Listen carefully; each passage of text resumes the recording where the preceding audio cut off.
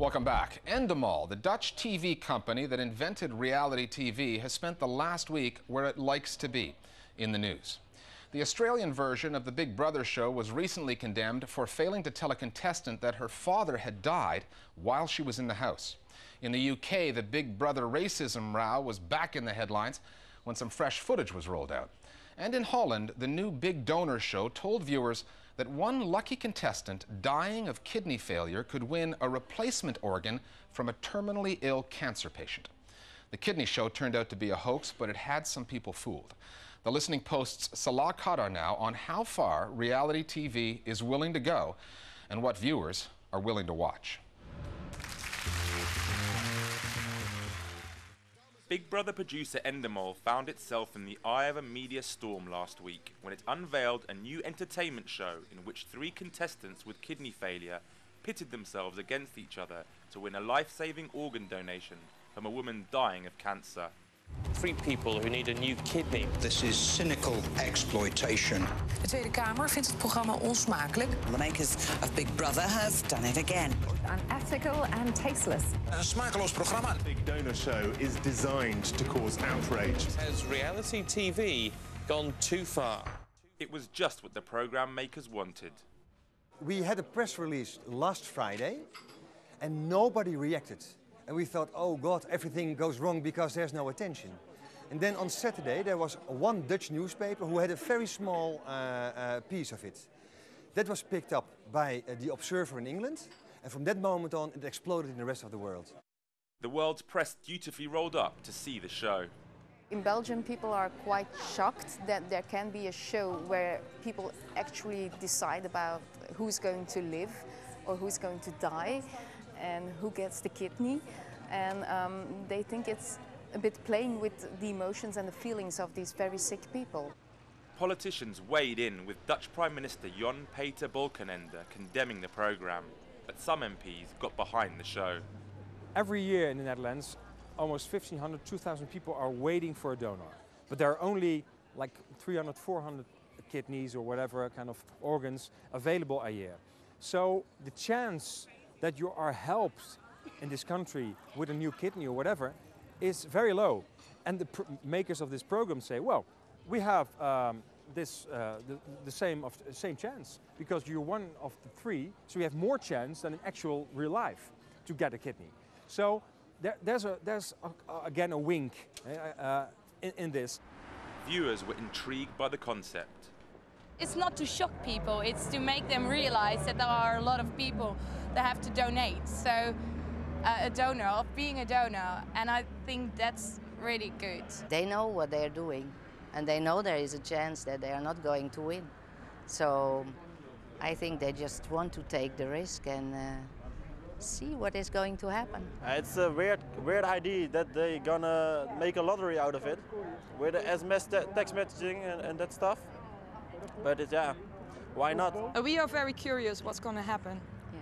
Yes. We, we don't know, and everybody's speculating about is it a joke? Are, are what we really going to do it? So. so, it's it's kind of fun also. That's why we're here.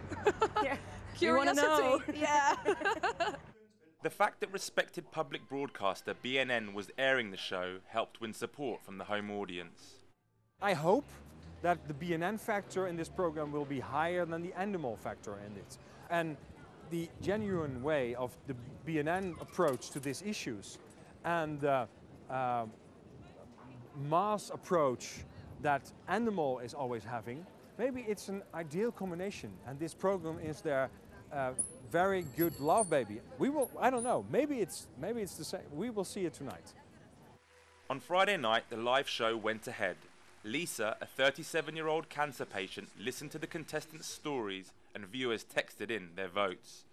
But just as the winner was about to be announced, the host, Patrick Lodiers, revealed the show was actually a hoax.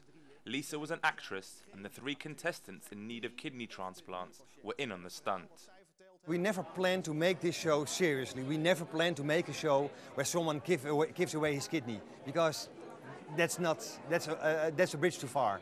So uh, from the, right from the beginning, we realized that if we want to make a show like this, it has to be very special and it has to be a hoax. For me, uh, it, it, already worked because we had uh, uh, more attention uh, to the problem of organ donation in the last seven days, more than the last seven years.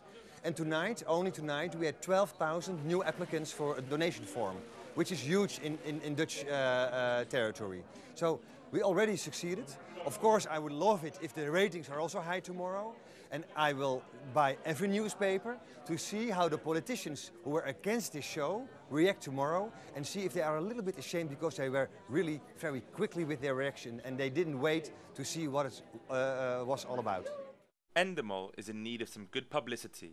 Its reputation has been tarnished by the ongoing Big Brother racism row in the UK, in which celebrity housemates bullied Bollywood actress Shilpa Shetty. And in Australia, producers decided not to tell a Big Brother contestant that her father had died while she was in the house, causing a public outcry. For many, the idea that Big Brother creator Endemol had gained a social conscience was hard to swallow. This is supposed to raise awareness of a very important issue. Well, are we talking about organ donation? No, we're not. Are, is the world's media talking about organ donation? But no, they're not. What they're talking about is Endemol and reality TV shows. So if Endemol's aim in making this show was to publicize not itself, but organ donation, then it hasn't quite succeeded in that, has it? But perhaps the most surprising aspect of the Big Donor Show was how far the viewers were willing to buy into the program. There was so much attention in the world and the people believed that this was real. So apparently somewhere in the world it's more or less accepted that shows like this could happen. But I would say for my personal ethics, and I also think it's, our, it's the company ethics, you cannot play with people's lives. You cannot disappoint two people in a night and say, well, you don't get a kidney and you get a kidney. You cannot play for God. But it's interesting to find out that apparently in the rest of the world, people really believe that this show can be made. It's, it's astonishing, actually. in essence, you can't have a reality show unless the people who are making the reality show are playing God. And what's interesting is we shouldn't let ourselves off the hook here. We as viewers most like to watch those shows which are most manipulated. Some thoughts on reality TV now from our Global Village Voices. I get air from a respirator. And that's how I speak too. It was so great to see the big donor show, but then it turned out to be a big hoax. That was so good. Now I have downloaded a form. A donor form too and and I am sending it in. Because I know I won't live long. Uh, I watched the show and during the show I kept thinking, are they really going to do this? They got a lot of awareness. And actually I can't think of a better way to get global media attention like this. They fooled us all. But was it a good idea? They convinced me to fill in a donor form. Finally, we've all seen athletes and coaches lose their temper in the heat of competition, but not like this. A minor league baseball manager in Tennessee was all over the World Wide Web this week after coming completely unstuck when an umpire tossed him from a game.